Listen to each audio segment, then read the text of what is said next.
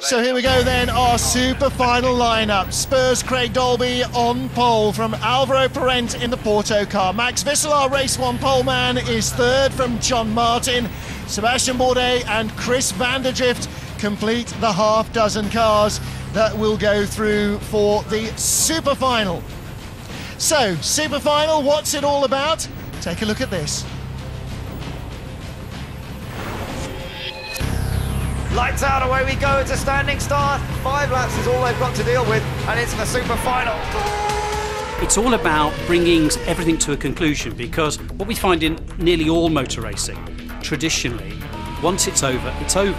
You have this tremendous build up and then it's finished. I think it's great. Super final. Short shootout for the winner. Great prize money as well. It's going to have a lot of action over five laps, and I think the uh, the fans will connect with it. It'll be great. Everybody's rushing down the pit lane because Timekeeper has an instant calculation of the points. He radios through to me, and we're informing the six teams. Then all rushing. I think it's us. I think it's us, and you know it's just the huge buzz. And then you get these six cars on the grid for this final pushing hard, but don't crash the car. It's going to be an exciting race with the drivers this year with five laps for the, the Dash for Cash. The super final victory here at Estoril, 100,000 euros. We actually like to, to add little bits and pieces, and in the end, we decided to add points. I mean, at the end of the day, it's the Dash for Cash, and it's serious cash this year. But in addition to that, these points could make a difference at the end of the year. Everybody is scratching for points, they want points. And six points for the winner of that, it's another six points in the weekend. And you never know, we might get to the last race of the season and that could mean everything.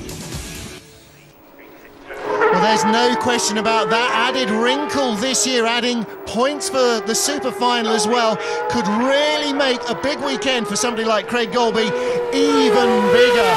If you can score well in both and then this.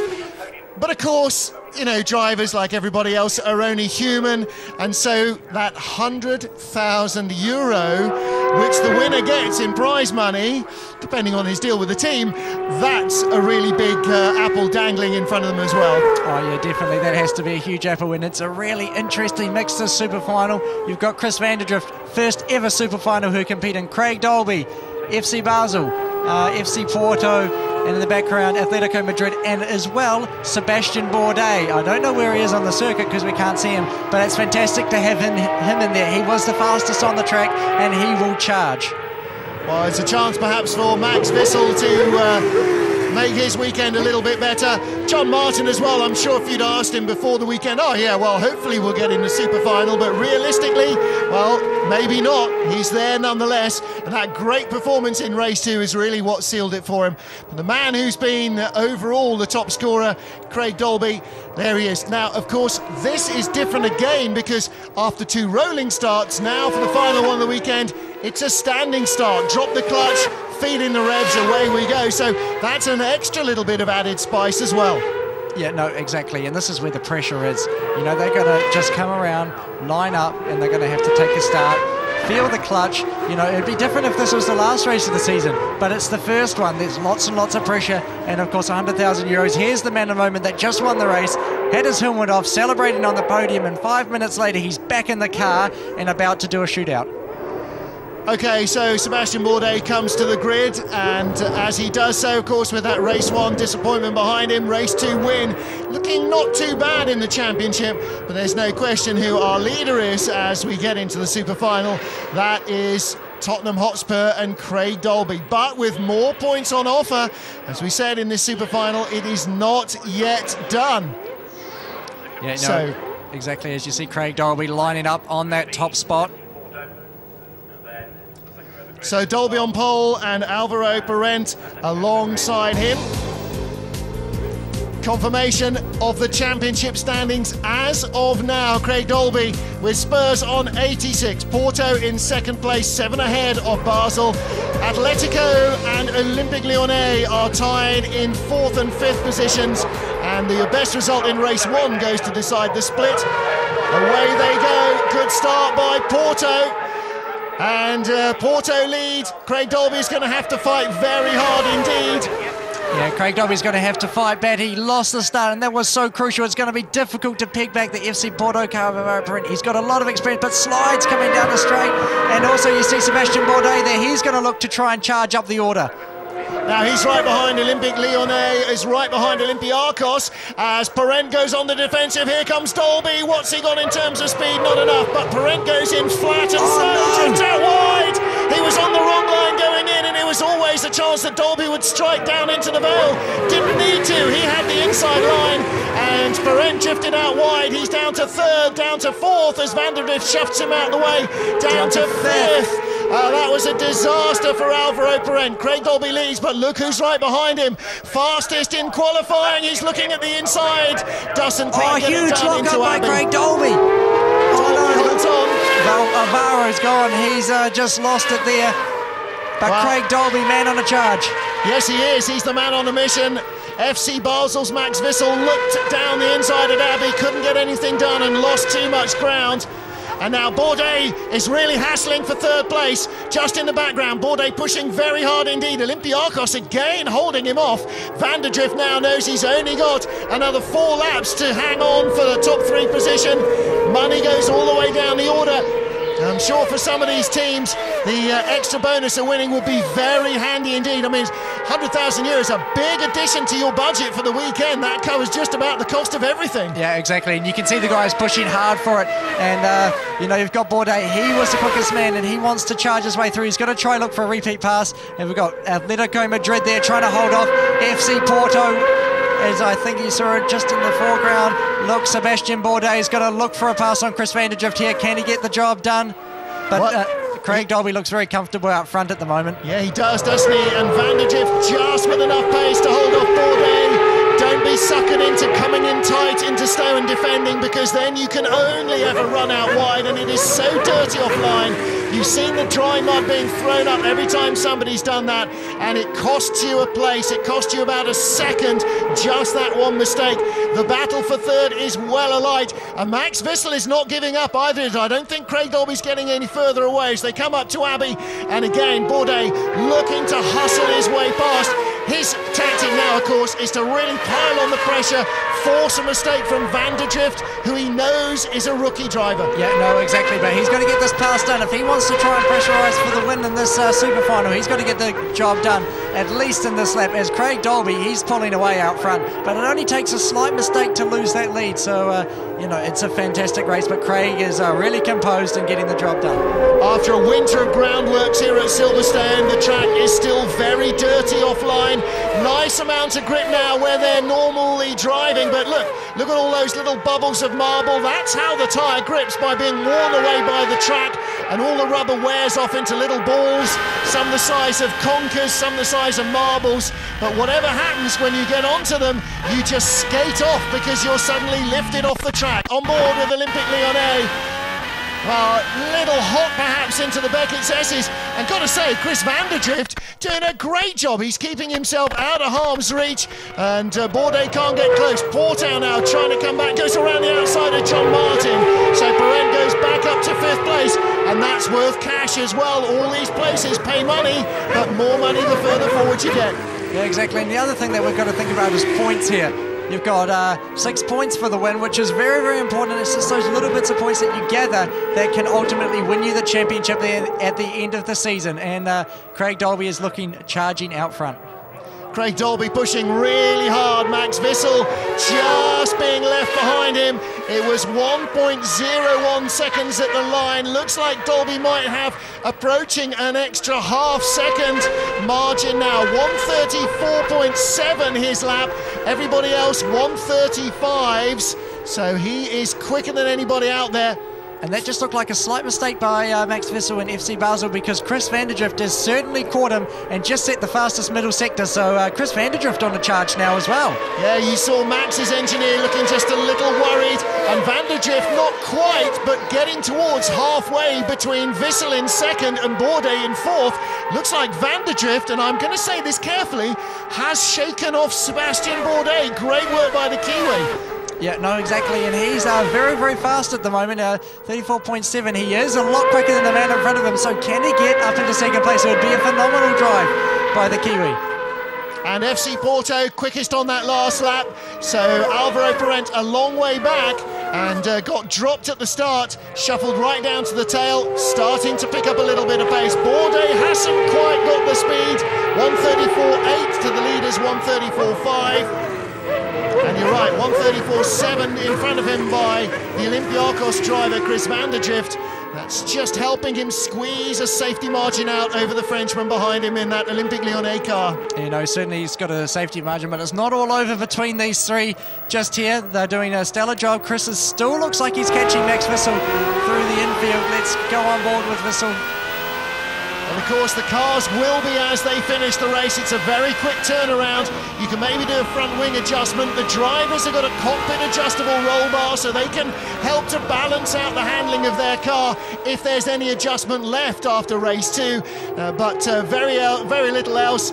You know, major setup work. So you just bring what you've got to the grid and see how good it is. And again, we see how good the Spurs car has been way through today. Yeah, exactly. And I think in five laps, you can't change much. You just got to get in there, hustle the car, and drive it as hard as you can. And that's what Craig Dolby's really, really good at. And I think that's why he's so strong in the first opening laps of the race and in the super final. He's uh, done a stellar job. As we see, Olympique Lyonnais starting to catch Chris van der Drift again. Well, now, maybe, yeah, he was three hundredths of a second quicker than Van der Drift in the Olympiacos car in front of us on that last lap. But again, just looks like he's a fraction faster this time. Maybe he's dialed in an adjustment as well and is a fraction happier with the car. Uh, Tottenham leading by 1.4 seconds at the line last time, and again, Dolby was a little quicker.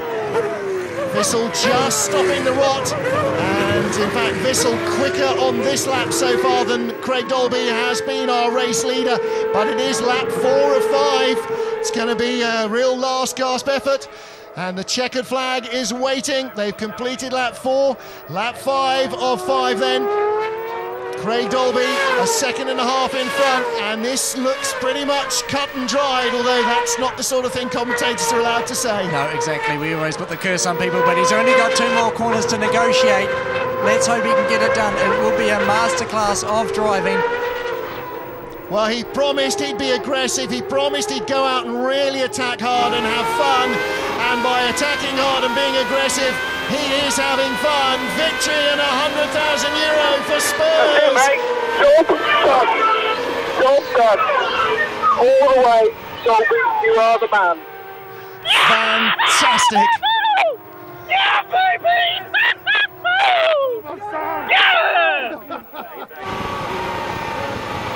Craig Dolby totally underwhelmed there, obviously, by winning the super final. Fantastic effort. Just talking to him on Friday, he said, I've never been fitter. I trained so hard this winter, so hard. I really didn't want to leave anything undone to try and win this championship this year. And if this is the way he's going to continue for the remainder of the championship, then it would be really a surprise to see Spurs anywhere other than in contention at every race weekend. FC Basel took second from Olympiacos at the line. So didn't quite see that. We're going to have to go back and take a look at that. Olympiacos and Lyonnais were third and fourth ahead of Porto and Atletico. So what happened there? Basel able to just pull out a fraction right over Olympiacos, but uh, Chris van der Drift ran him very close, Max Wissel, as they got to the line. In the end, Wissel had enough to stay in front, but not enough to catch the uh, Spurs car, did he? No, but uh, you know, you can't take it away from the Spurs car. They were so quick all weekend. And you know, you talk to Craig Dolby, as you said, and he was just so so focused. But also, he's got such an amazing attitude towards driving the car. And um, for me, he's a nice, cool, calm, collective guy out of the car, always bubbling. It doesn't matter whether he's going bad, going well, and winning races. He's still the same guy outside of the car, but inside of the car, he's a real killer and uh, gets the job done out on track. But yeah, I think it was a fantastic job all weekend. Well, he says something about his mental attitude that he refers to what happened last year as winning the vice championship. Now, that's a phrase that's often used. It's a very German phrase, vice champion they have as the runner up in any category but it means that he doesn't say I came second. It means that in his mind he was as close to winning as it gets, but without actually losing. And and that's really something, you know. it's not refusing to accept what happened, it's not considering it was enough. Exactly. It's looking higher up, always setting the bar higher. And he has set the bar, very high here. Wins the super final. Max Wissel could not catch him. But Olympiacos and uh, Olympique Lyonnais got so close at the line. Those three cars, second, third, and fourth, covered by just a fraction over a second. Porto in fifth. And Atletico, great start for them. John Martin scores points in all three races. So excellent start to the season. And that means that we now see a 22 point lead for Spurs over Porto. Basel in third, Olympiacos and Olympique Lyonnais are tied in fourth place on 61 points, just a couple clear of their closest rivals. But Liverpool, how the mighty have fallen this weekend. Last year's champions, they don't even have enough points to match the number one on their car. What a disaster! And here's the other side of that coin. What a weekend. Craig Dolby just looking for a moment there. So oh, that might have been tears of joy. Yeah, definitely. And look at him. He's talking to his car. He talks to it before the race, talking to it after the race. He is the man of the moment.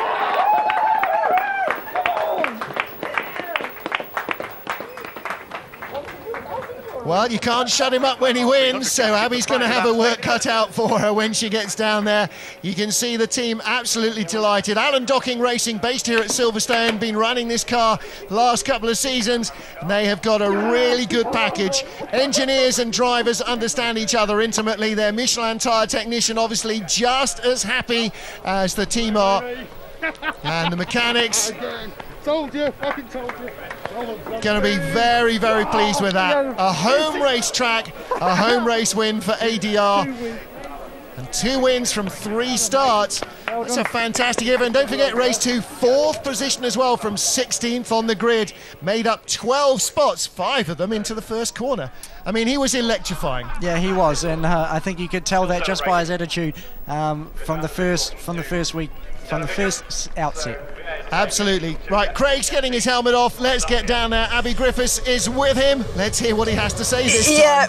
I am with one very happy man. Congratulations, Craig. I really don't know. I mean, that's well done, Max. That was unbelievable. Do you know, uh, the second race was hard. Part of my uh, safety system broke in the car and, and meant I couldn't turn right. My head couldn't turn right, so uh, that was hard. And uh, we just got through that, got fourth, which uh, put us on pole. And then, so our, um, Porto struggled to overtake or overtook us. Then we did him back. And wow, what a race! What a race! I'm lost for words. It's great for Tottenham, you know, and I'm carrying Ben this weekend. The support for them all year, so uh, it's one wicked weekend. Yeah, absolutely. You're not lost for words when you speak to that car. What do you say to it? Ah, that's the secret. I'm sorry, but no one can know that. But yeah, it works, so I'm happy. Well, just what a weekend overall, and to top it off, just to have that prize money at the end. Home track. You're new to Silverstone. Just what a delight. Yeah, it's fantastic. I'd just like to say thank you to all the support and. Uh, Tottenham and Alan Docking for putting their trust in me again this year, and uh, I hope I can pay it off for them. So, but Craig, you have now set a standard. Can you keep this up for the rest of the season? Ah, uh, this is nothing yet. I'm going to push even harder. So, yeah, I will be back. I think you will be a force to be reckoned with. Um, Craig, I'm delighted for you. I can feel your enthusiasm. Um, go and enjoy this evening. Thank you very much. Cheers. Thank you. More spring in him than in the Easter Bunny. Look at it. Fantastic.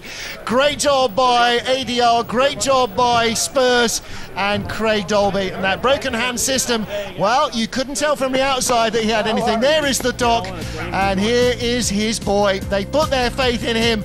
And if he's going to be anything like this throughout the season, that was well placed. Yeah, no, he's going to be a very, very hard man to beat. And it's quite scary when he says, This is nothing yet. Wait until I push even harder. Yeah, God help them when he gets to a track where he does know it. Of course, next up, May the 16th, Assen. Three races on the Dutch TT circuit. It's a circuit that not many of these drivers will know because it's predominantly used, of course, for motorcycle racing. But it is so fast and flowing. It's also narrow. It's going to be a real challenge for these cars. So, Silverstone in the end, well, we got a little less rain than we were expecting, a little more perhaps than we might have hoped for. It was cold and blustery, but nothing stops the exuberance of Craig Dolby. Two wins and a fourth place from three starts. Max Wissel, second place there. And Seb, uh, Chris van of course, taking third ahead of Sebastian Bourdais.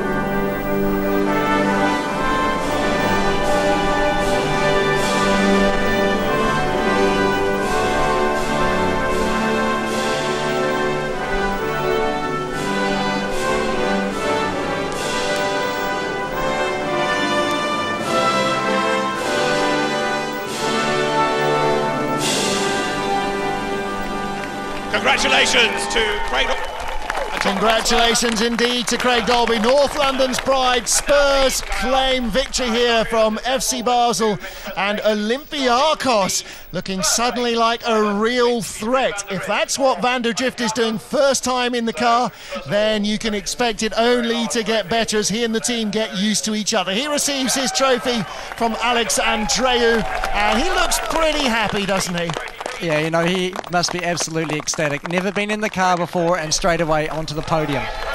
Max Wissel, second place. Poles didn't yield the win that he wanted, but he and GU Racing, FC Basel, looking very strong. No question, though, expected to be a championship front runner, and right from the start, the points leader. They're going to chase him for another nine months before this trophy. The championship is decided. I hope Chris's management have done a good deal for winnings. Same tune for Max Wissels. And for Craig Dolby, Ben, he referred to incidentally, is a charity here in the UK that's on his car.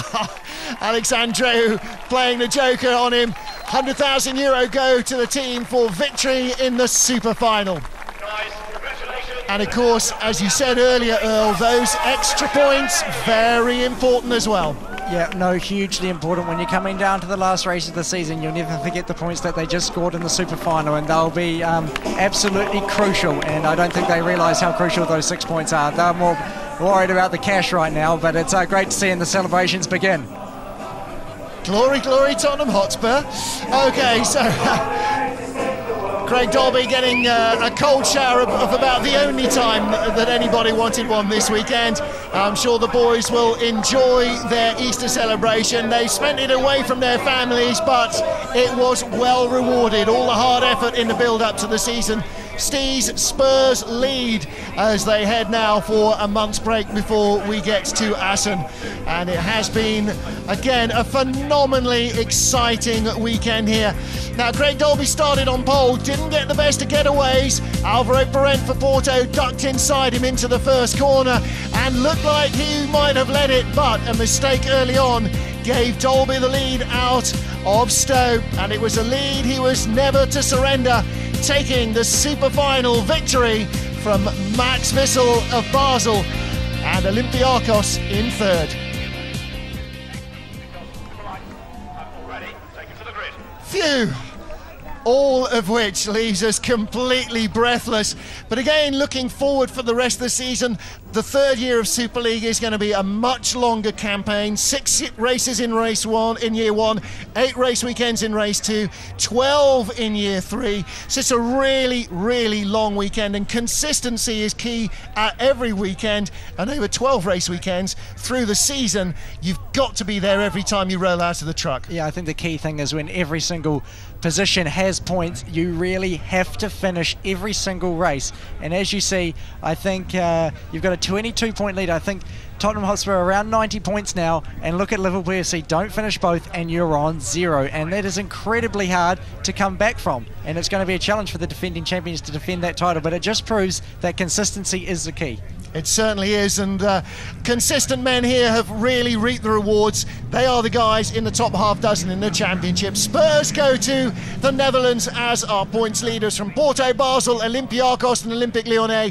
Atletico very close, and Flamengo, Sevilla, and Milan heading the chase. But as you said, Earl, it is Liverpool who have zero points scored here against 92 of the championship leader.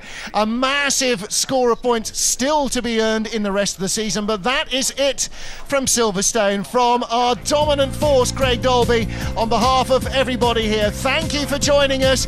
We'll see you next time out. Bye for now.